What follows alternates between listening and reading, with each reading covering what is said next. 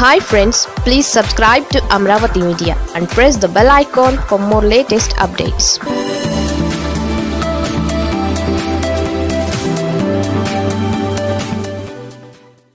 సమోసా ఎలా చేయాలో చూపిస్తాను. ఈ సమోసాలు మనకి చిన్నప్పుడు థియేటర్స్ దగ్గర బస్ స్టాండ్ దగ్గర చాలా ఎక్కువగా దొరుకుతుండే అందరం ఇష్టంగా తింటూ ఉండేవాళ్ళం కదా.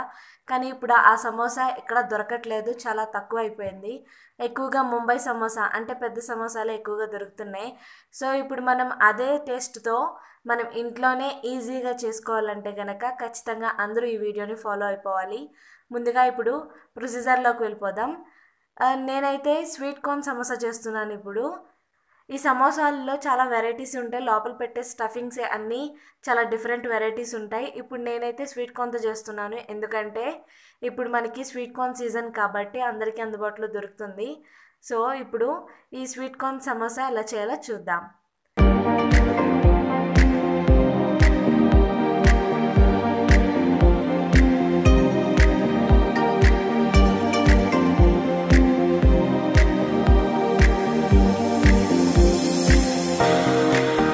ప్యాన్ తీసుకుని దాంట్లో ఫోర్ టేబుల్ స్పూన్ ఆయిల్ వేసుకోవాలి.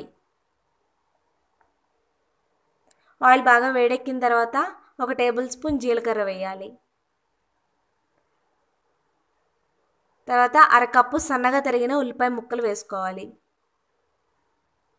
రెండు టేబుల్ స్పూన్ పచ్చిమిర్చి ముక్కలు వేసుకొని మీడియం ఫ్లేమ్లో పెట్టుకొని రెండు నిమిషాల పాటు బాగా వేయించుకోవాలి.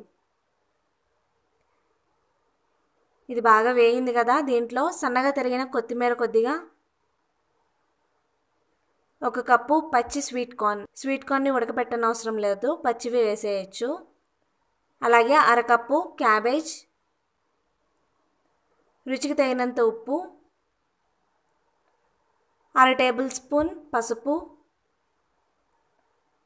ఒక టేబుల్ స్పూన్ కారం వేసి బాగా కలుపుకొని మీడియం ఫ్లేమ్లో పెట్టుకుని బాగా ఫ్రై చేయాలి. వాటికి ఉన్న ఆ పచ్చివాసన పోయేంత వరకు బాగా వేయించుకుందాం. ఇది బాగా వేగింది కదా అంటే మన స్టఫింగ్ కర్రీ రెడీ అయిపోయింది. దీన్ని వేరొక బౌల్లోకి తీసుకుని పక్కన పెట్టుకుందాం. ఈ సమోసాలు చేయడానికి నేను స్వీట్స్ అనే సమోసా షీట్స్ ఎక్కువగా యూజ్ చేస్తాను. ఇవి మనం రెడీమేడ్గా దొరుకుతాయి డీమార్ట్లో దొరుకుతుంది. మనం తెచ్చుకుని ఫ్రిడ్జ్లో పెట్టుకుని ఎప్పుడు కావాలంటే అప్పుడు వాటిని యూజ్ చేసుకోవచ్చు. మామూలుగా సమోసా షీట్స్ చేయాలి అంటే మైదా పిండి కానీ లేదా గోధుమ పిండి కానీ వాడి వాటిని చపాతీలాగా చేసి కట్ చేసి సమోసా షీట్స్ చేస్తారు. కానీ అదంతా ప్రాసెస్ చేయడానికి చాలా ఎక్కువ టైం పడుతుంది కాబట్టి మనకి ఇలా రెడీమేడ్గా షీట్స్ దొరుకుతున్నాయి కాబట్టి అవి తెచ్చుకుని ఇంట్లో పెట్టుకుంటే కర్రీ స్టఫింగ్ కర్రీస్ చేసుకుని రెడీగా చేసుకుని ఈజీగా చేసేసుకోవచ్చు.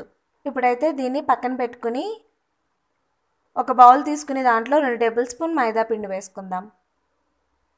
దాంట్లో కొద్దిగా వాటర్ పోసి బాగా కలుపుకోవాలి. ఉండలు లేకుండా థిక్ పేస్ట్ లాగా చేయాలి ఇలా. ఈ మైదా పేస్ట్ని మనం సమోసాని క్లోజ్ చేసేటప్పుడు చివరగా ఎడ్జెస్ దగ్గర రాసి బయటకు రాకుండా మనం అతికించడానికి ఈ మైదా పిండిని వాడతాం.